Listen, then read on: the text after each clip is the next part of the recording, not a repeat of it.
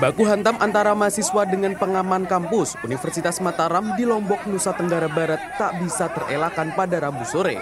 Peristiwa ini terjadi setelah sejumlah pengaman kampus berusaha mengusir sejumlah mahasiswa karena dianggap telah mencoreng kegiatan kunjungan Wakil Presiden Ma'ruf Amin di kampus mereka. Para mahasiswa ini mengaku menggelar unjuk rasa guna memprotes tentang biaya perkuliahan dan fasilitas kampus mereka seusai rombongan wakil presiden memberikan kuliah umum.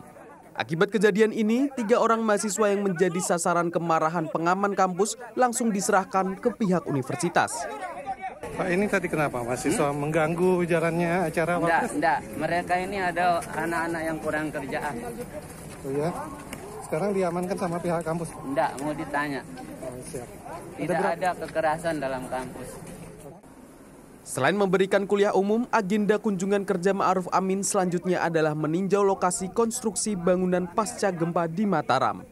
Lalu Rahmat Juniadi, Mataram, Nusa Tenggara Barat.